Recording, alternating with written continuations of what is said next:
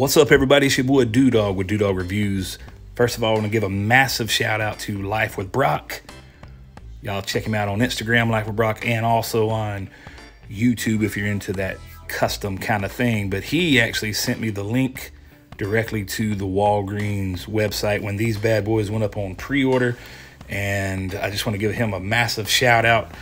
So, yeah, here we go. This is the, for me, much anticipated um, Obsidian Surfer. If you know the storyline with Cosmic Ghost Rider and all of that good stuff, man, this is, first of all, I want to tell y'all, check those comics out because it's worth the read.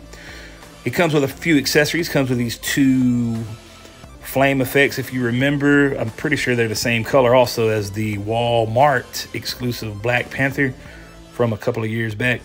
Comes with two fist hands, comes with two open grip hands. Kind of weird that he doesn't come with the open splaying kind of uh, flying hands that the original Walgreens exclusive surfer came with. But oh well, they didn't. So of course you got the board. Thankfully, I know a couple of folks on the last Silver Surfer from a couple years back actually uh, didn't have the board with them. So obviously that's a factory mistake. But right here, this guy looks great. This is a, a prime example of um, just a, a, great, simple figure that just looks incredible for what it is. Of course, he comes with Mjolnir. There again, if you want to read the comic, go ahead and do that. You're not going to be disappointed. Really awesome read. King Thanos, Cosmic Ghost Rider, all of that good stuff. So right here, we've got the basic new buck that this guy's on. This pretty much took over the uh, Bucky cap, which this has been out a few years. I'm not going to go over articulation, man. If y'all been watching anybody's Marvel Legends reviews, same thing. This is just an, massive, uh, an amazing upgrade. Butterfly joints, all that good stuff.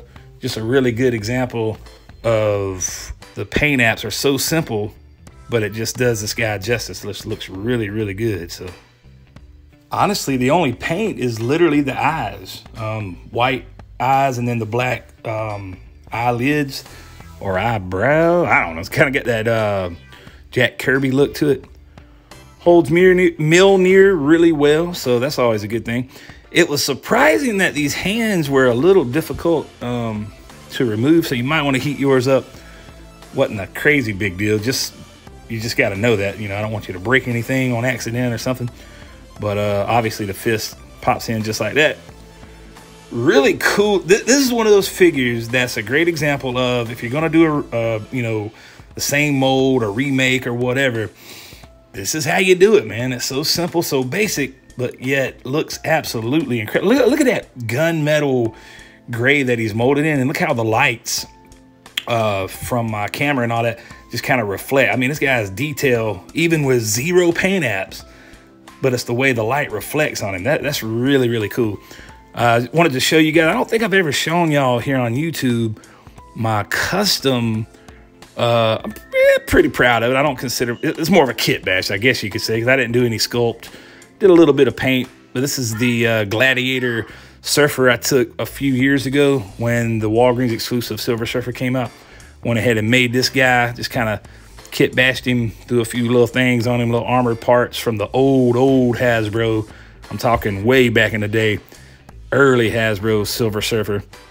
Uh, yeah, so basically ripped that one apart, made this one, painted the arm, and boom, you have a modern take on that figure. So let me know in the comments below what you think about it. Hit the thumbs up. It's your boy DewDawg.